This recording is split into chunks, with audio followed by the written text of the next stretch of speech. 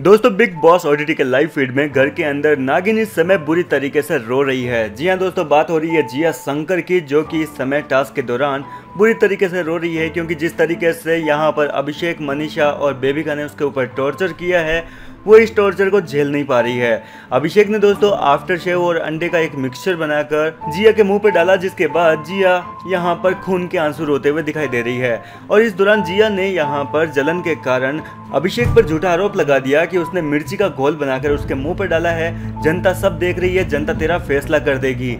कि तू कितना गलत है, कितना गंदा इंसान है तू। तू अपनी पर्सनल जो खुन्नस है, वो मेरे ऊपर निकाल रहा है। ये सुनकर दोस्तों अभिषेक ने भी यहाँ पर एक लाइन का रिप्लाई करते हुए घर वालों की बोलती बंद कर डाली।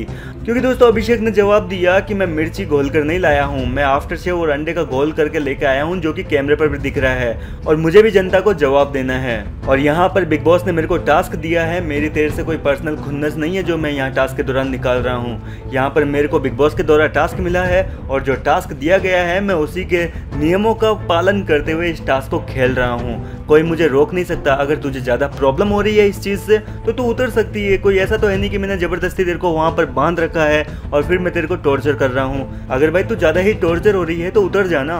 ये सुनने के बाद यहाँ पर कहीं ना कहीं जिया और बाकी घर वालों की बोलती बंद हो गई। आपका क्या कहना है अभिषेक के सेवेज रिप्लाई पर अपनी राय कमेंट करके ज़रूर बताएँ।